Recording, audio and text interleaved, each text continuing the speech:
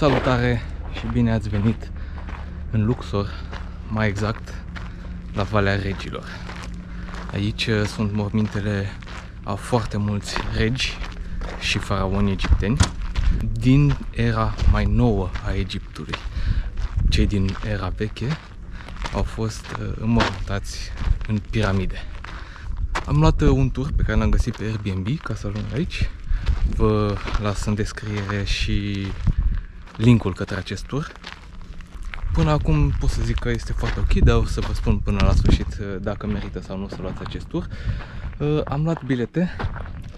Biletele pentru acces sunt 240 de lire ca să intri, 300 de lire pentru făcut poze și filmat, am mai luat extra de 100 de lire intrarea la uh, mormântul lui Ramses al V-lea și mormântul lui Ramses al VI-lea, care am înțeles de la ghid că ar fi unele dintre cele mai frumoase. Pe lângă asta, se mai puteau cumpăra pentru 300 de lire intrarea la mormântul lui Tutankhamon. Am înțeles că nu ar merita neapărat, mai ales pentru faptul că nu se mai găsește înăuntru decât mumia lui. În rest, tot ce era este expus la Muzeul Egiptean din Cairo și în același timp este un mormânt destul de mic. Pe lângă asta mai este încă un bilet extra pentru un mormânt care am înțeles că ar fi unul dintre cele mai mari și cele mai frumoase, dar acest bilet este 1000 de lire, doar el însuși și nu l-am cumpărat uh, și stilul am înțeles că este destul de asemănător cu cel de la uh, mormintele lui Ramses al V-lea și al VI-lea. Pe lângă asta se mai plătesc 4 lire pentru trenulețul care te duce de la locul unde cumperi biletele până la fix intrarea în Valea Regilor. Am aflat destul de multe lucruri interesante de la ghid. Nu le-am reținut în schimb pe toate despre această vale. Uh, pot să vă zic că arată foarte frumos. Cam așa arată.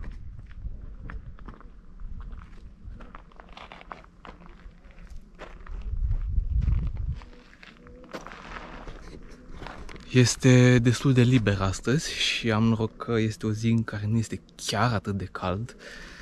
Sunt 34 de grade, am, când am fost uh, la piramidele din Giza erau peste 40. Uh, aici își făceau, după cum am spus, uh, mormintele faraonii și regii din Egiptul antic, din perioada mai nouă. Fix de la începutul domniei, aceștia începeau lucrul la mormântul lor lucrau în jur de 300 de oameni uh, din trei categorii, sclavii care erau cei care săpau și apoi încă două categorii, unii care uh, făceau schițele pentru picturi și sculpturi și apoi uh, ultimii dintre ei făceau efectiv picturile și sculptau în stâncă. Picturile erau făcute cu o cerneală pe care o făceau din praf din diferite pietre de diferite culori, această de culoare, împreună cu uh, două lichide și în timp astea se impregnau în piatră.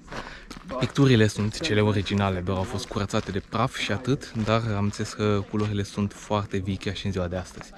Acești lucrători lucrau în partea de vest, deci să vă explic, Nilul împărțea orașul Luxor și alte zone din Egipt în două. Partea de est și partea de vest. Partea de est era cea dedicată vieții, aici trăiau oamenii și în partea de vest se făceau mormintele. Aici trăiau doar cei care lucrau la morminte și acești lucrători uh, lucrau 12 ore pe zi, timp de 24 de zile, după care 6 zile puteau să meargă în zona de est să stea cu familiile lor, mânca iarăși să se întoarcă să lucreze 24 de zile și așa mai departe. Plata am înțeles că li se făcea în principiu în mâncare și fiecare venea cu ustensilele lor. Acestea erau făcute din metale destul de rare și trebuia fiecare lucrător să aibă și o piatră care să cântărească exact cât ustensilele lor. Ustensilele rămâneau la gărzi. În momentul când ei veneau la morminte și veneau aduși de măgăruși, dar legați la ochi și de fiecare dată pe un drum diferit, și uh, escortați de gărzi, astfel încât să nu știe, uh, după ce au terminat munca, să nu știe cum să ajungă în acest loc. Uh, dacă uh, piatra pe care o aduceau nu uh, era identică, pentru că au uh, spart o bucățică din ea sau ceva și nu cântărea exact cât uh, ustensilele, atunci aceștia erau pedepsiți. Dar în cazul în care uh, pierdeau piatra, li se tăia gâtul, erau omorâți pe loc. După ce regele sau faraonul murea, uh, mai aveau timp 70 de zile să definitiveze orice mai era de lucru la aceste morminte, pentru că atât dura procesul de mumificare, după care, normal, cadavrul era adus aici și era îngropat împreună cu averile pe care urmau să le aibă la dispoziție în viața de apoi. Acum uh, voi intra în trei morminte care sunt deschise, uh, plus cele două pentru că am luat biletul extra, surprinzător, dar toți faraonii pe care vom vizita sunt Ramses.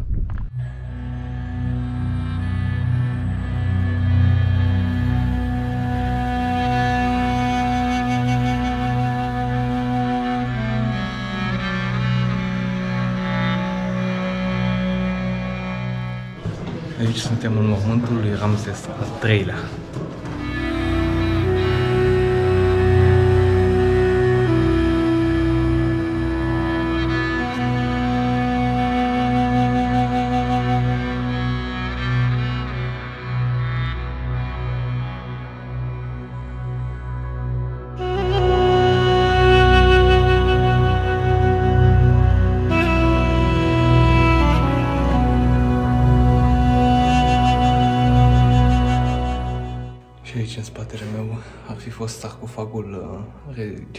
Regelui Ramses al III-lea, dar am înțeles că zona asta este într-o condiție destul de rea și în același timp nu a fost finalizată, probabil că nu au avut timp până când a murit uh, regele să termine totul.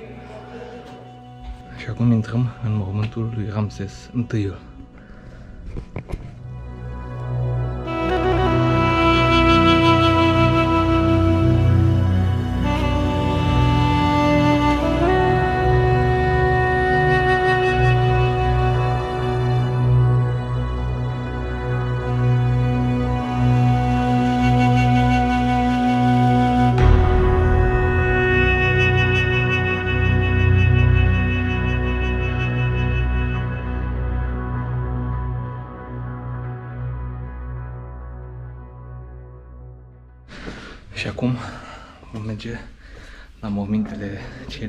6 cică de aici.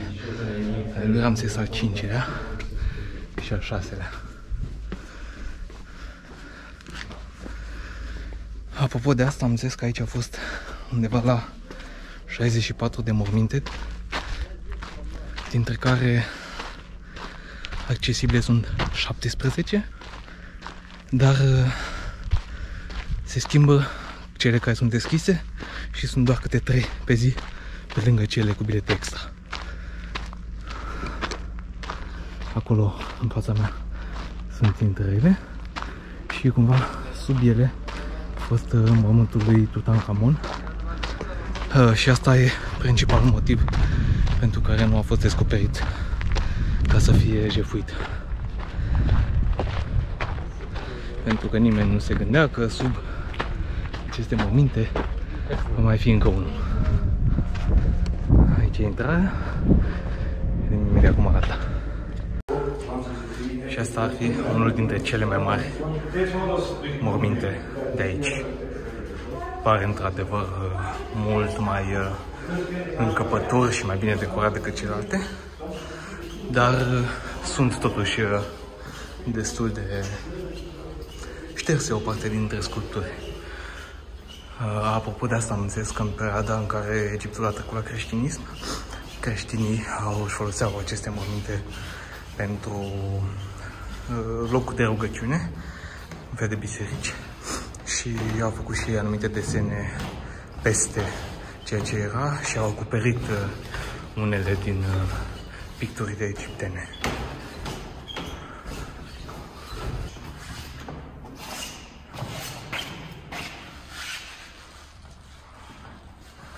fața văd un sarcofag și aici încă unul.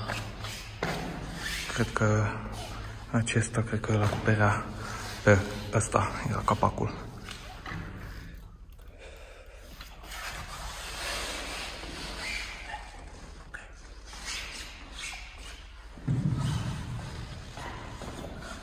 Și acum am intrat în ultimul mormânt deschis astăzi, Ramses al IX-lea. Și ăsta pare destul de măricel comparativ cu primele două. Și după cum vedeți, oamenii de aici tot încearcă să răspună Uitați-vă acolo, faceți poze acolo Să faci pe după plexiglas, să te bagi pe sub uh, diferite opritoare pe, pe lângă care să nu treci Ca după aia să le dai niște bani Deci dacă nu vreți să faceți asta, încercați să scăpați de ei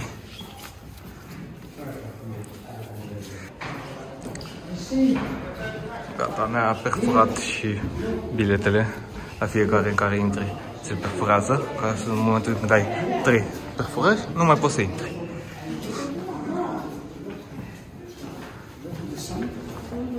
Și aici în față este locul în care a fost înmormântat Ramses al IX-lea.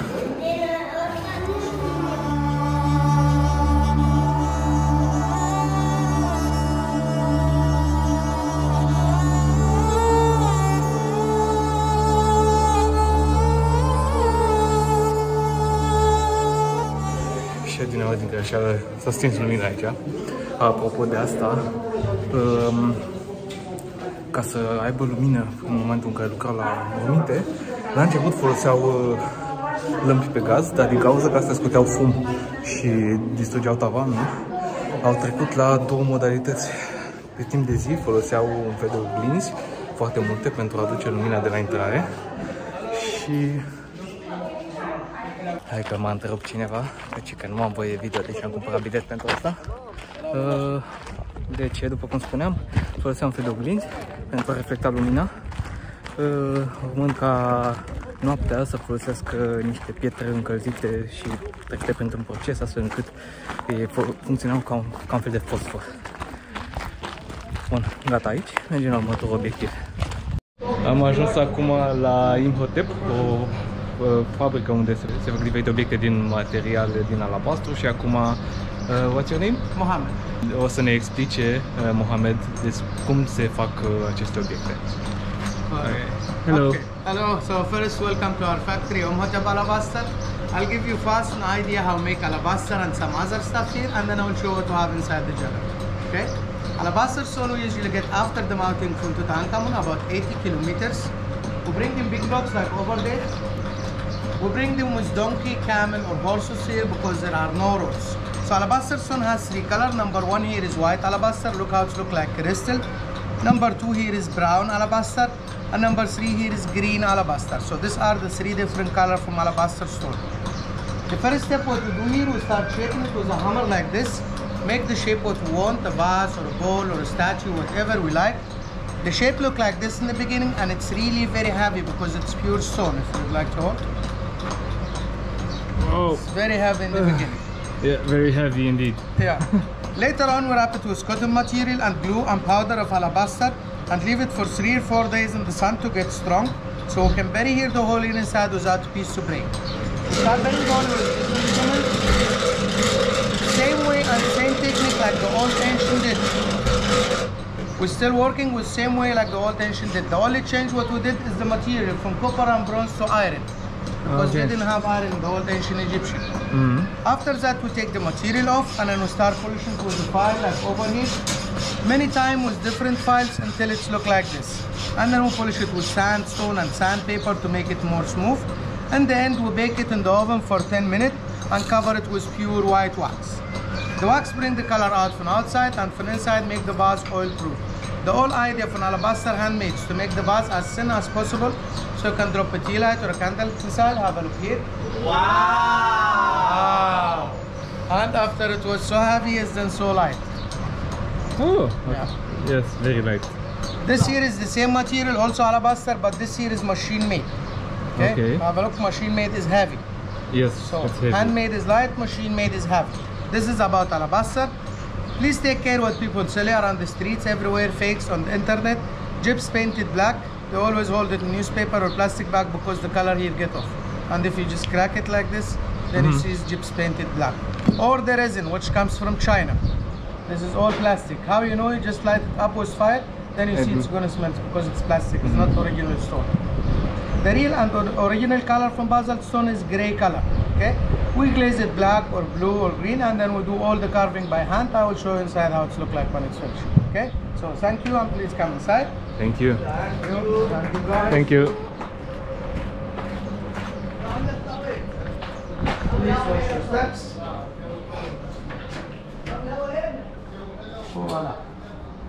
So we're gonna start from here. This section here, this is all alabaster machine made. This section here, this is all original basalt stone, like I told you outside.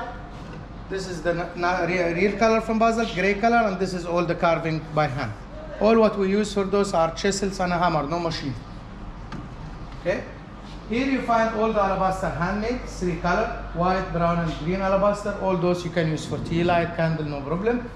Over here you find all our unique pieces and all older arts. Some of those pieces are over 50 to 150 years old. Okay, all this section here. Here, this is limestone, also carved by hand and painted, painted by hand. Now I'll leave you free. Have a look around, enjoy yourself. We have no hassle here. If you have any questions or need help, my name is Mohammed and I'm here to help you. Nu mă așteptam, dar uh, chestia asta genială, adică am mai încercat și în alte locuri la micul dejun, uh, dar uh, nu se compară, deci uh, asta chiar este foarte, foarte bună.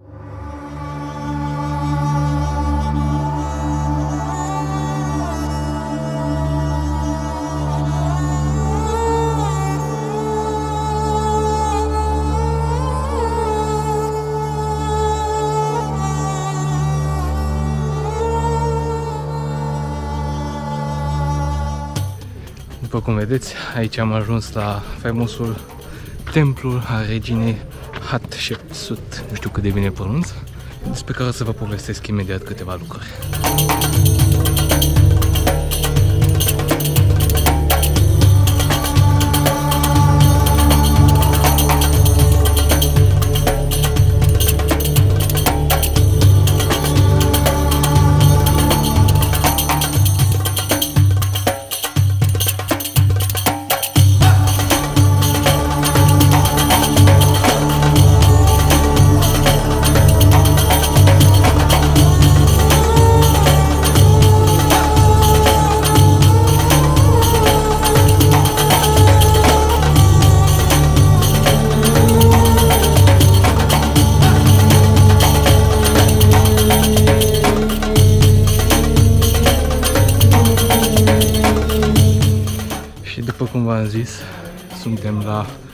Templul reginei Hatshepsut. Aici este una dintre cele mai celebre, probabil, imagini din Luxor. Este foarte cunoscută imaginea cu acest templu. Uh, Ea a fost uh, regina Egiptului pentru 22 de ani. Uh, A ajuns să fie regină printr-o conspirație, să spunem așa, și anume a reușit să convingă poporul că ea este desemnată de însuși zeul Amun-Ra pentru a conduce Egiptul, astfel încât uh, populația a acceptat faptul că ea este uh, îndreptățită să fie pe tronul Egip- Egiptului, uh, altfel nefiind uh, permiși decât bărbați. De asemenea, ea, în foarte multe din picturile pe care le-a făcut aici, este înfățișată ca un bărbat uh, și în orice afișare în, rea- în viața reală, când, în momentul când a trăit ea, uh, dacă era uh, ceva oficial, se îmbrăca ca un faraon bărbat. Uh, Este înmormântată în Valea Regilor, este singura femeie înmormântată acolo și a fost o figură foarte, foarte importantă în istoria Egiptului.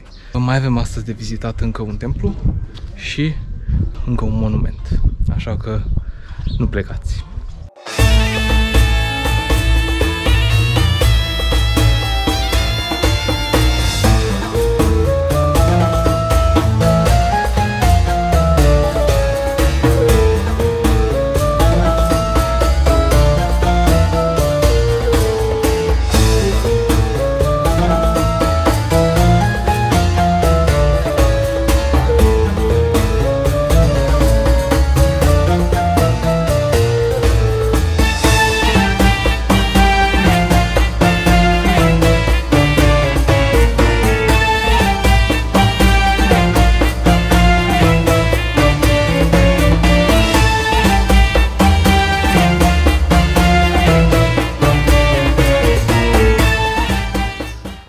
Suntem la templul Medinet Habu. Uh, este templul lui Ramses al III-lea. Ramses al III-lea a vrut foarte mult să fie la fel de, de succes și de impunător precum Ramses al II-lea, uh, care a fost denumit și Ramses cel Mare, uh, astfel încât a încercat să domnească precum acesta.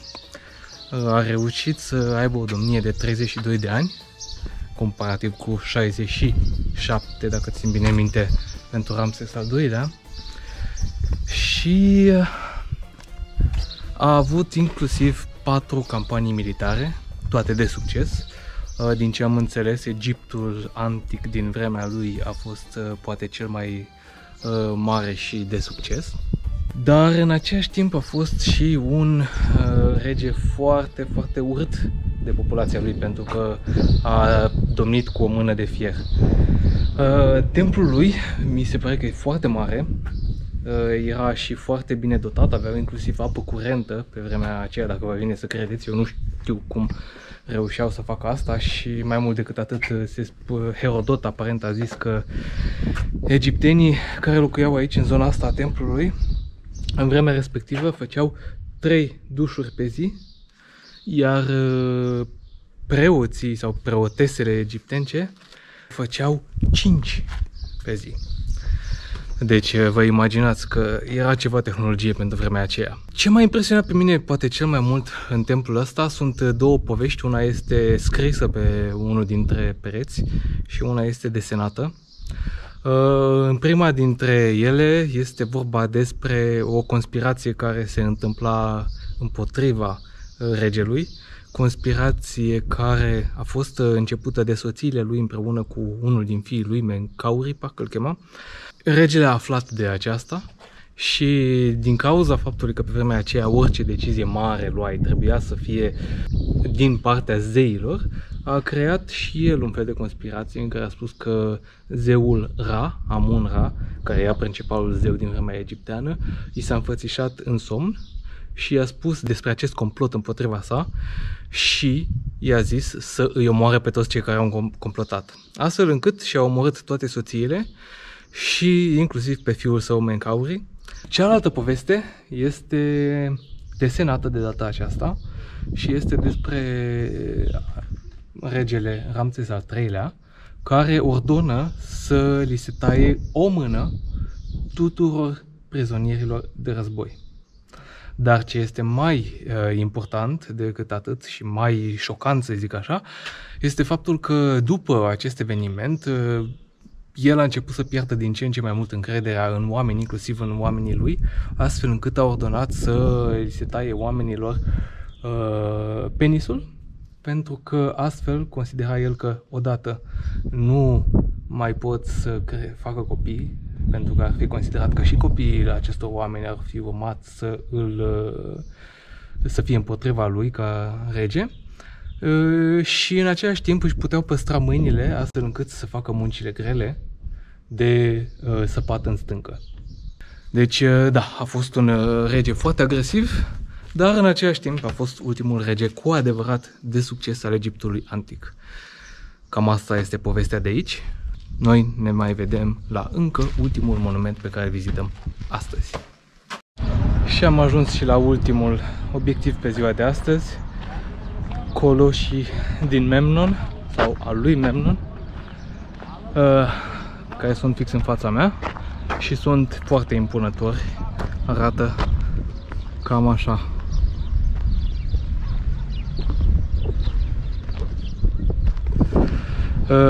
Fix aici, în față, am înțeles că era înainte un foarte mare templu, dar uh, a fost distrus în urma unui cutremur. Cam asta a fost vizita pe malul de vest al Luxorului. Cam astea sunt principalele obiective pe care le găsiți aici. Eu sper că v-a plăcut acest vlog. Ghidul meu, Heightham, a fost de nota 10 Uh, o să vă las și în descriere date despre cum să-l găsiți. Eu personal îl recomand. Uh, vă mulțumesc că vă uitați la mine. Nu uitați să vă abonați. Dați un like dacă v-a plăcut acest clip. Iar noi ne vedem data viitoare. Până atunci, numai bine!